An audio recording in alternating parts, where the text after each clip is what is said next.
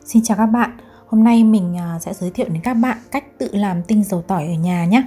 Uống tinh dầu tỏi vào mỗi buổi sáng sẽ rất là tốt bởi vì tinh dầu tỏi à, có tác dụng là tăng cường hệ miễn dịch cho cơ thể chúng ta đấy. Giờ mình à, sẽ tiến hành vào làm nhé.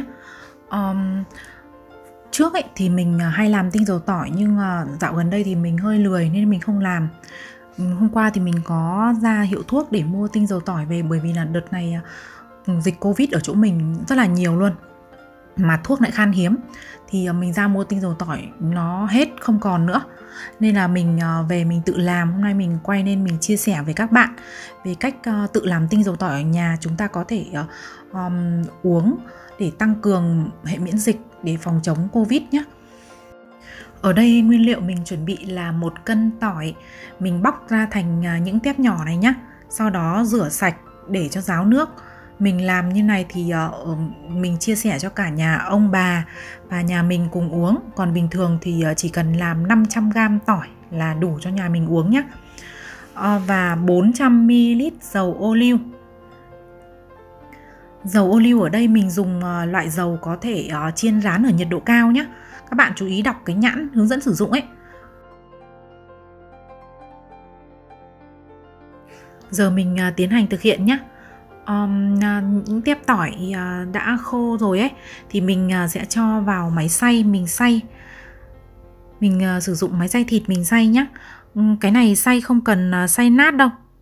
Chỉ cần uh, xay uh, nó vẫn còn uh, hạt to này là được này. Đấy sau đó mình uh, chuẩn bị uh, một chiếc nồi sau đó cho dầu ô liu vào nhé mình bật bếp ở 180 độ đun cho dầu ô liu ờ, nó hơi sủi tăm lên là được.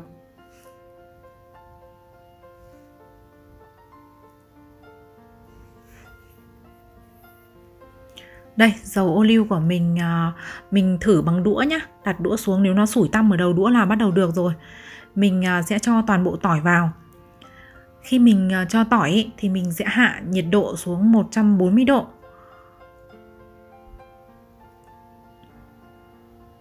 Mình cho hết tỏi vào nhé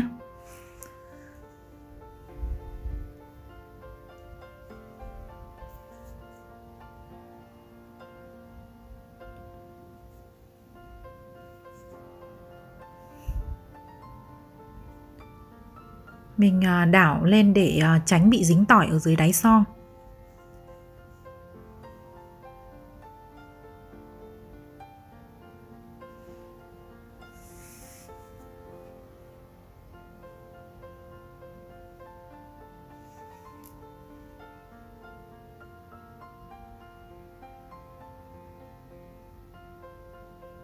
Rồi, mình cứ ờ, ờ, đun ở nhiệt độ 140 độ nhé để uh, cái uh, khi mà uh, dầu ô liu trong uh, nồi ấy nó hơi sủi tăm lên là mình sẽ hạ về nhiệt độ 120 độ.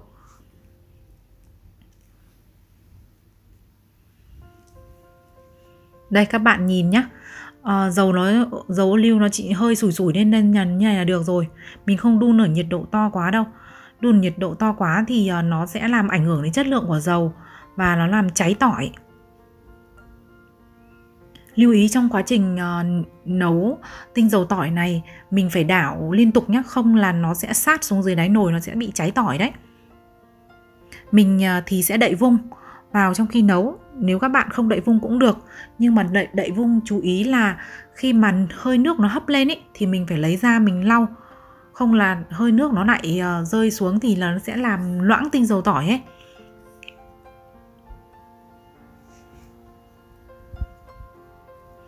Đây, bây giờ tinh dầu tỏi của mình à, đã được rồi. Ờ, Mình sẽ đun cho khi nào tỏi nó chuyển sang màu vàng nhé. Và có mùi thơm bốc lên là được. Và sau đó mình à, sẽ cho à, ra để mình lọc. Mình chuẩn bị hai cái rây sau đó để mình lọc tinh dầu nhé